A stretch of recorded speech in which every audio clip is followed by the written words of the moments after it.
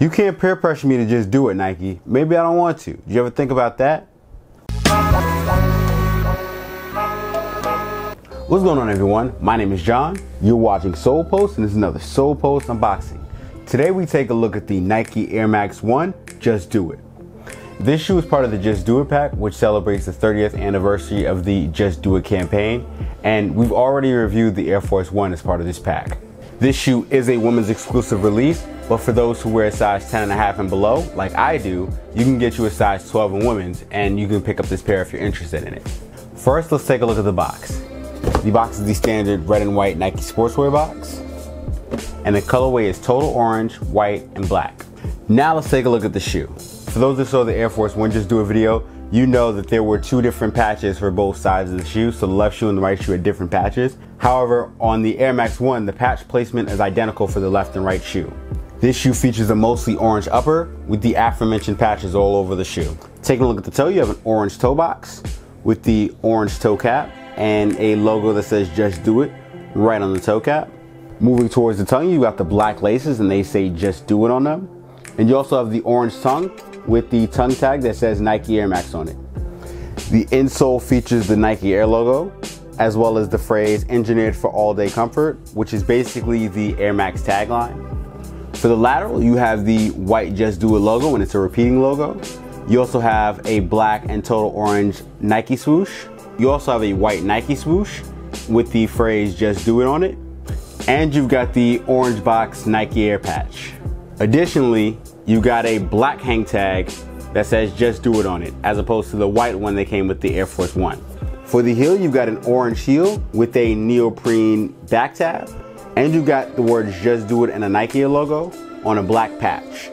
Also on the heel, you got a small Nike Air logo. On the medial, you got a hologram just do it logo, as well as the Nike Air patch. The shoe features a white midsole with the partially exposed Nike Air unit, and the shoe sits on a white, black, and orange outsole.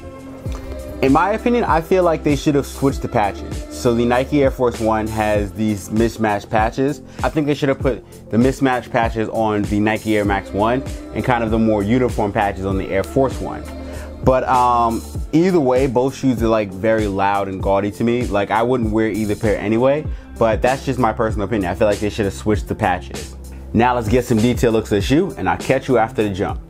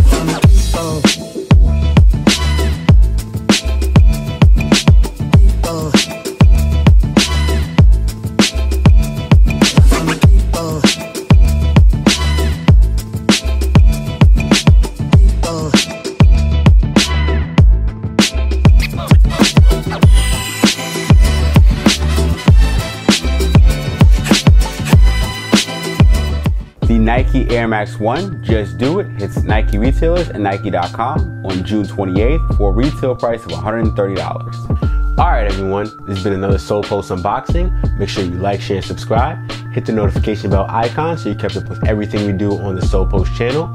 Check out solepost.com for more news, sneaker releases, and sneaker info. Also, you can follow us on social media here. I'm John from Sole Post. Thanks for watching, and I'll see you soon.